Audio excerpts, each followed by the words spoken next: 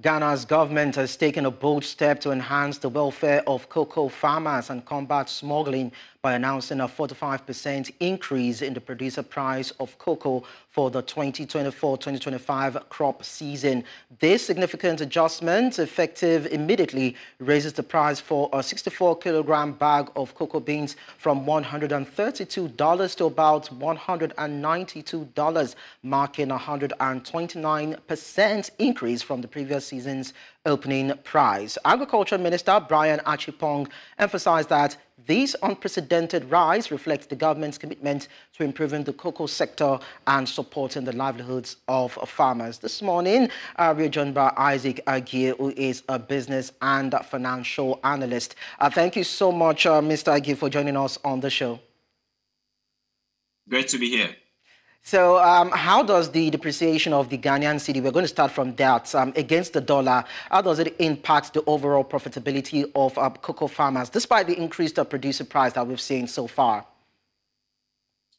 Well, definitely, uh, that is one of the reasons why farmers believe that the current uh, over 40% increment in the price of cocoa bag is not sufficient or is not adequate because you see inflation above 20% and the depreciation of the local currency against major trading currencies like the dollar and the euro all above 20%. So essentially, whatever you give to farmers is being eroded by depreciation and then also uh, inflation.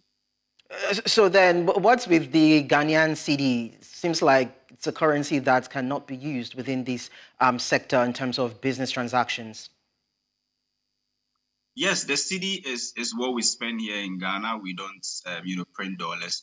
But in fact, whatever that happens to the dollar has a rippling effect on the uh, purchasing power of the uh, on on uh, how do you call it farmers. And so essentially, if you raise the price of cocoa, but farmers are still struggling to buy, uh, you know, uh, food, they are still struggling to to to to get accommodation and all of that. That tells you that they will not be happy with the current 45% increment in cocoa price. They want a price that is higher than this uh, they want to make sure they bridge the gap, the gap between what inflation has actually caused to their disposable income. So essentially, it is one of the reasons why government must look at this 45%, although it is it is higher. But if you're comparing this to last year, remember last year before we even began the season, government increased the price by more than 60%. And this time around, we're talking about 45%. So it is uh, this is relatively lower if you compare it to what we saw at the beginning of last year. Of course, we know that during the course of the season, government went ahead to add additional, I think, 56% to the earlier 64% that it began the planting season with. But inflation and depreciation of the local currency is still continuing. If you look at the cedi versus the dollar, for instance, the cedi has lost more than 24% of its value against the dollar. And that means that disposable income of farmers has actually reduced. So, yeah, so another reason for the increase has to do with um, the story around um, smuggling of this uh, particular commodity. I'd like to get an idea of who the perpetrators are and how it is affecting um, the industry.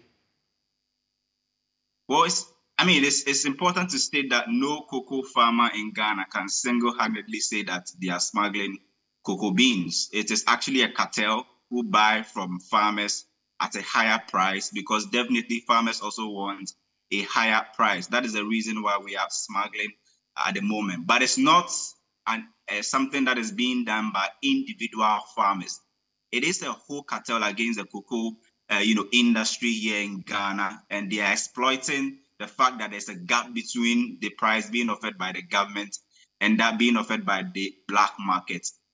This year, let me even start with the last two seasons. We had about 150,000, uh, you know, tons of cocoa smuggled out of the country.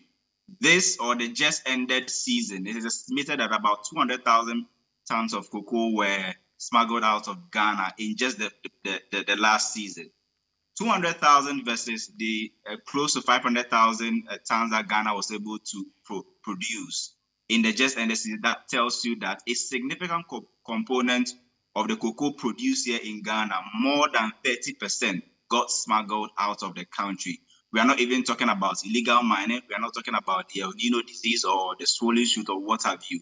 Smuggling alone took away 30% of all that was produced here in the country in the just ended, you know, season. That tells you that it's a big problem here. And it's simply because the black market is explo- exploiting the difference between the price being offered to the farmers by the government what is prevailing in that black market as well. And farmers want a good deal. So definitely uh, they are finding ways and means to sell to the black market, which is illegal. But when you create that form of uh, you know opportunity, you find economic agents taking advantage of that. Okay, so um, the big issue here right now is um, how will the government now fund the substantial increase um, in the producer price that they've announced? And what are the potential trade-offs um, in terms of other public spending priorities? The body responsible for cocoa purchases and all, all of its governance is the Cocoa Board. And at the moment, we understand that Cocoa Board doesn't want to do the syndicated loan anymore it is not because Cocoa Board has so much money. That's why they don't want to do syndicated loan. This year, we understand they wanted 1.5 billion from the syndicated loan market. But because currently it is not credit worthy, remember that um, I think about two or three months ago, we analyzed here on Business Edge that um, cocoa trading houses, just by trading with Ghana in the just ended season, said they lost about $1.4 billion only because Ghana could not uh, you know, produce or supply the cocoa that they assured them through the cocoa syndicated loan. So this time around, it was going. To, it was very clear that Cocoa Board was going to face complex uh, um, you know, interest rates and regimes around the whole cocoa syndicated loan, and they've looked at it and they've seen that it is not something that they can deal with. That is why Cocoa Board is opting for self-financing. It means that all the cocoa that will be bought here in the country will be financed by a Cocoa Board you know, directly. It will not be there will not be a forward sale per what we are understanding. But the difficulty here is that usually Cocoa Board used to tap from two domestic markets, which is their treasury bills and also financing from the Bank of Ghana, which is a central bank. But because Ghana is currently under, under an IMF program, the central bank is precluded from giving Cocoa Board or any government entity any form of financial assistance. This is what the IMF calls the 0% financing. If you come into the other side, which you were supposed to tap in, which is their treasury bill market, Cocoa just did a debt restructuring. And most of the investors who bought cocoa bills in the you know three, four, five years ago have lost their investment, and some of them have been forced to take haircuts. And okay. so that space is no more. So I kind of I cannot understand why Cocoa Board is opting for self-financing, but I do not know where they are going to get that money to do the, the financing in the domestic space anyway. So which would actually mean that, um, of course, um, the increase in the producer price will not be sustainable as we see it when you know, Ghanaians are thinking, why can't the government even go after the smugglers and nip them because they seem to be the reasons why there is a spike and there's a dis disorientation or disruption in the prices. But then, uh, Isaac, maybe we'll talk about this some other time. Um, Isaac Agyei, uh, business and financial analyst, it was nice talking to you. Uh, thank you so much. You're welcome.